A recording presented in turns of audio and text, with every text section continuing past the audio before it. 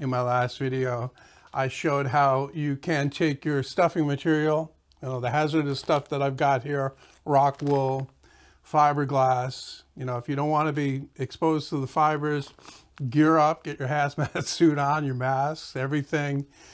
Be careful with it with gloves on, put it in the bag, seal it up, and then you can take that and put it in your speakers. You can even put it in smaller bags than this, you know, little sandwich bags even, and then position those inside your, your speaker and stick them in place with double-sided tape or spray glue or hot melt glue even, so they won't move around. And you won't be exposed to the fibers, you know, even on an invented box. So I did that, but I got comments from people saying that they thought the plastic would be more of a barrier, that it would stop some of the sound.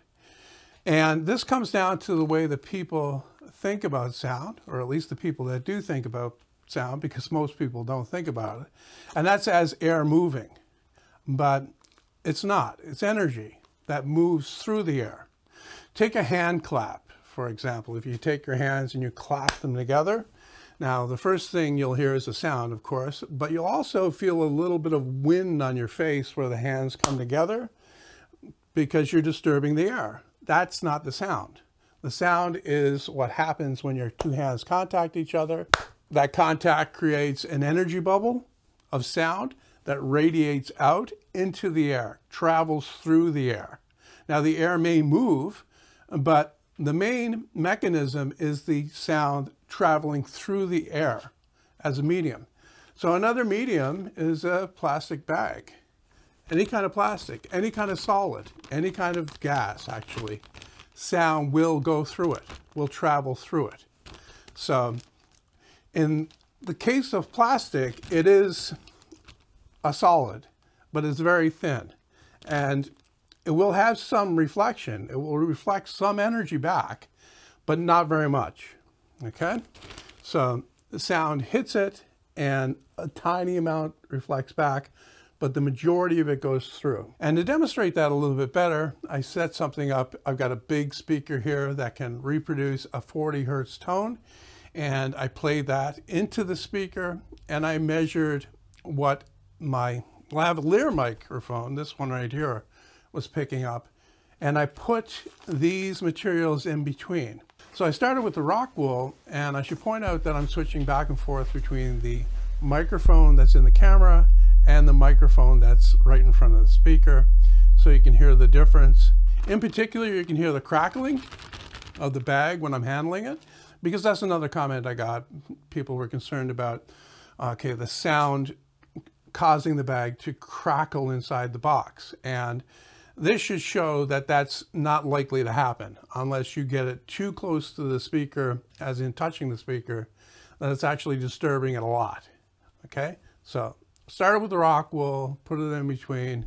You can see that the sound is still reaching the microphone, but it's attenuated by a small amount.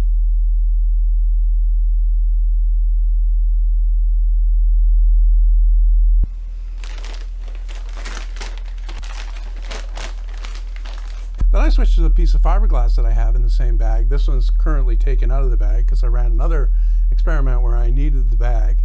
And once again, you can see that the sound is going through it, but it's being attenuated by a small amount. And then what I did was I took an empty bag and I put that between the microphone and the speaker to see what happens there. And once again, there is some attenuation, but it's very small. As it turns out, it's less than a dB.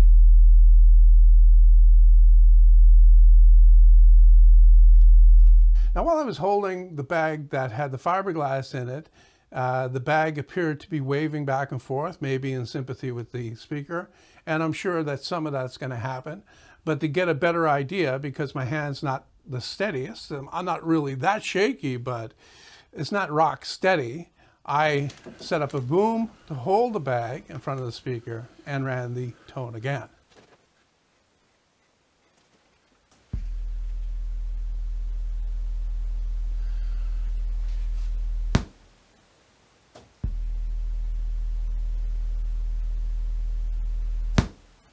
And you can see that it does move, especially when I start and stop the tone.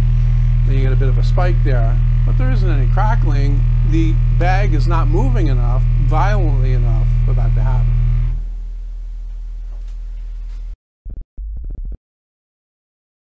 What I'm doing here is I'm taking those recordings and I'm roughly matching them up to see how much attenuation there actually is. And you can see for the uh, rock wool that it's almost three decibels. Uh, that's 2.64 to be exact. And then for the fiberglass, that drops down to 2.3 decibels. And then for the bag alone, it's less than a decibel, like I said before.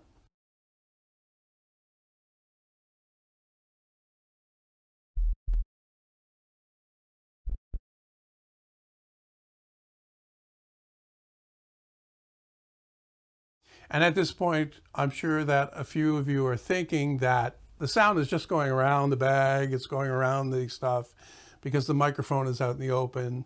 After all, we can hear it on the camera. What if you take the microphone and put it inside the bag and see what happens then?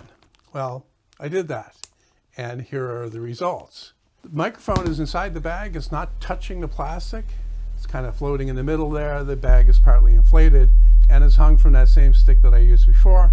And we can hear that definitely sound is getting through that plastic bag to that microphone. If anything, it's a bit louder, in fact. So to sum all this up, sound is energy and it goes through mediums, air, plastic, damping material. But when it does, it tends to reflect off solids um, the more solid the medium is, the more of the sound will reflect. As we saw, most of the bass frequencies go right through this unobstructed, but some very high frequencies will be reflected. Now, the damping material, as I've said before in other videos, absorbed that energy, that sound energy. As the sound goes through it, it absorbs it. And the two that I use are the Rockwool and the fiberglass. I didn't have any polyfill on hand to compare, but as I showed in another video a couple years ago, uh, this is the best um, by weight. This is second best, and polyfill is a, a distant runner-up. These are the only two. If I'm serious about damping inside a speaker, these are the only two that I would use. But I do have some foam ordered that I'm going to be testing soon. So stay tuned for that.